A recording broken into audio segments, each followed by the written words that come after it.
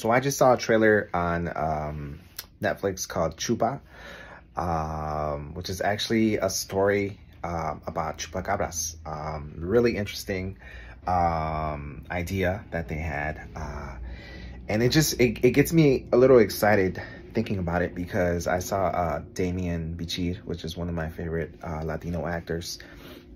And I'm just excited because, you know, as a Latino, um, I love seeing Latino content. Um, I love, like, like it just made me think about um, Dora the Explorer.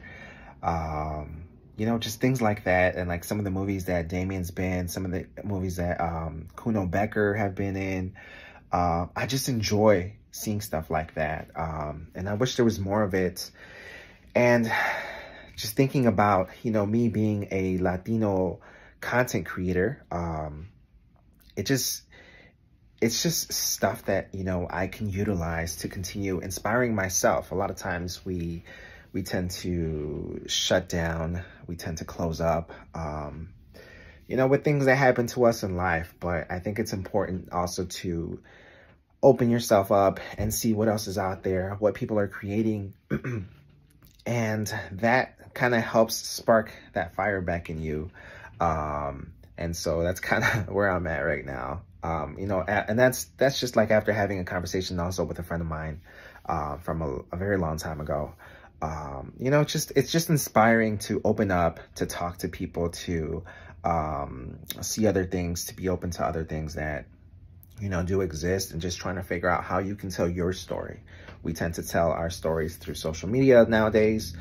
Um, you know, and it's, it's, it's just something that we, we got to continue doing because we are storytellers. Um, we love sharing experiences that happen to us, um, you know, and, you know, just got to find our stories, um, find inspiration, find guidance, and also just being, um, what's the word? Being um being willing to share our story right? Having that courage to share our story um it might not resonate with everyone but it, it I think it, it could resonate with some people. It could res resonate with a lot of people. You just don't know unless you actually put yourself out there and let people know what your story is. So that's what I'm taking today, trying to figure out what my story is, what I want to share with people, um, what I think will benefit others. Um, another thing is that whether you know it or not, a lot of us go through the same situations in different ways, obviously. We're, you know, we're not living the same exact experiences, but we do go through similar experiences through similar situations. Um, take it with relationships, take it with children, take it with uh, careers, you know, things like that. We do share similar experiences, similar challenges.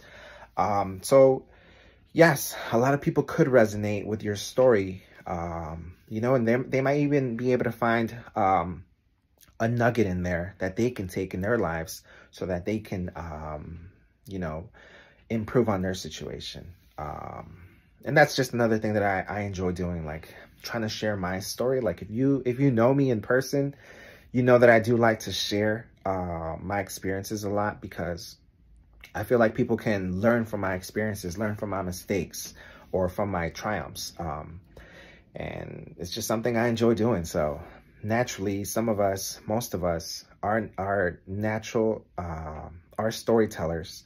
Um, and it's just a matter of having that courage to share our story.